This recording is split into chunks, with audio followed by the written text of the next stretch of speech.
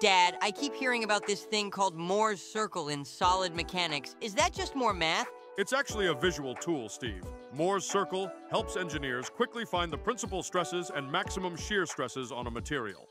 So instead of using equations, you draw a circle? Exactly.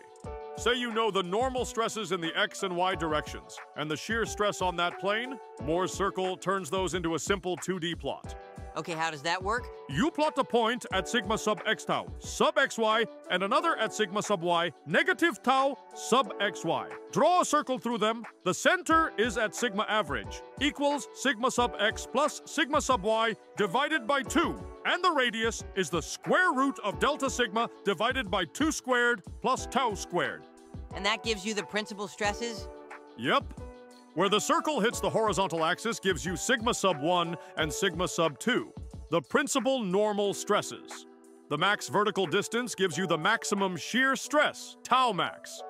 Why is this better than just solving equations? It's faster, visual, and helps you understand the state of stress at any rotated angle without grinding through coordinate transformations.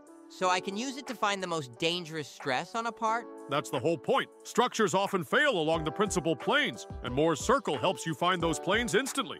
That's actually kind of elegant. It is. Mohr's Circle may look like a circle, but it's one of the most powerful tools in solid mechanics.